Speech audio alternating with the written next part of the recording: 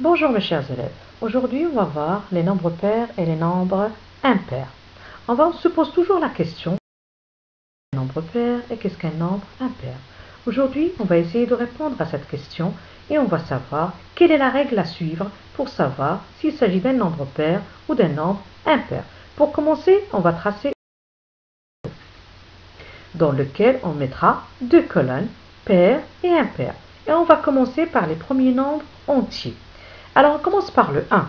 Le 1, c'est un nombre impair. Pourquoi Parce que je ne peux pas l'écrire sous forme de deux fois la même chose. Le 2, c'est un nombre pair. Le 3 est un nombre impair. Le 4 est un nombre pair. Le 5 est un nombre impair. Le 6 est un nombre pair. Le 7 est un nombre impair. Le 8 est un nombre pair.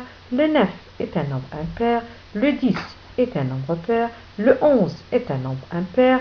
Le 12 est un nombre pair, le 13 est un nombre impair, le 14 est un nombre pair, le 15 est un nombre impair, le 16 est un nombre pair, le 17 est un nombre impair, et ainsi, et ainsi de suite.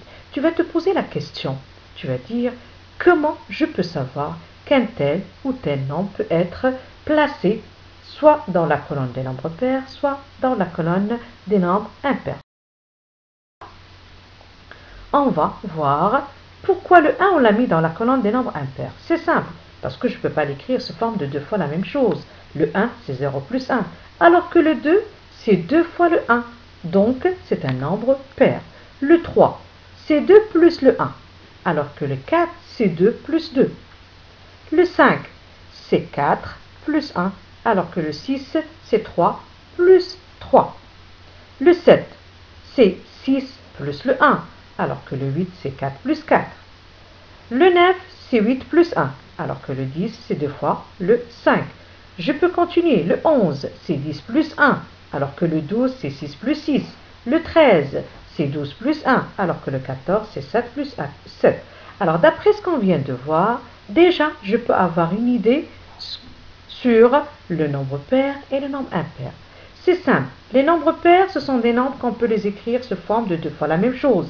C'est normal. D'ailleurs, dans notre vie, on utilise le mot paire quand on parle de paire de lunettes, paire de chaussettes, paire de ciseaux, paire de boucles d'oreilles, et ainsi, et ainsi de suite.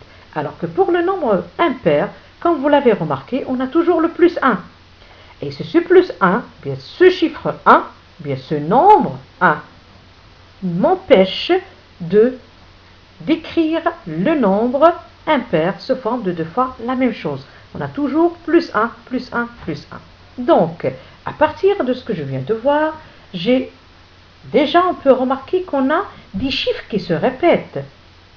Et par suite, je peux déduire la règle avec laquelle je peux reconnaître les nombres pairs et les nombres impairs, même s'il s'agit d'un grand Alors, les nombres pairs, qu'on appelle aussi des doubles, se terminent toujours par le chiffre 0 ou 2 ou 4 ou 6 ou 8. Ça veut dire leur chiffre des unités est l'un de ces chiffres que je viens de voir.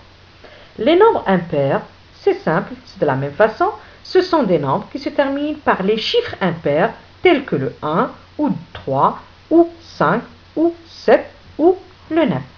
Donc, même s'il s'agit d'un grand nombre, je peux dire que c'est un nombre pair ou impair, il suffit d'avoir la règle par cœur dans ma tête. Alors, on va faire un exercice ensemble pour savoir, pour voir si j'ai bien compris ma Alors, trouver si le nombre suivant est pair ou impair. Je commence par donner quelques nombres et de trouver si ce sont des nombres pairs ou impairs. À toi de jouer. Alors, on commence par le nombre 11. Le nombre 11, il se termine, se termine par le chiffre 1. Alors, donc, le nombre 11 est un nombre impair. Très bien. Je passe à un autre exemple. Le 12. Le 12, c'est un nombre qui se termine par 2. Ça veut dire que son chiffre des unités est 2. Donc, le 2 est un chiffre pair. Donc, qu'est-ce que je peux dire du nombre 12 C'est un nombre Très bien, c'est un nombre pair. Je passe à 48. 48, c'est un nombre dont le chiffre des unités est 8. C'est un chiffre pair. Donc, qu'est-ce que je peux dire du nombre 48 Très bien, c'est un nombre pair. Le 35, c'est un nombre qui se termine par 5, ça veut dire son chiffre des unités est 5. Donc, le 5 est un chiffre impair et par suite, le nombre 35 est un nombre impair. Bravo Je passe à 59. 59, c'est un nombre dont le chiffre des unités est 9. Et 9 est un chiffre impair. Donc, qu'est-ce que je peux dire de 59 C'est un nombre impair. Bravo Alors, je vois que tu as très bien compris ta leçon. Je te dis à très bientôt. Au revoir.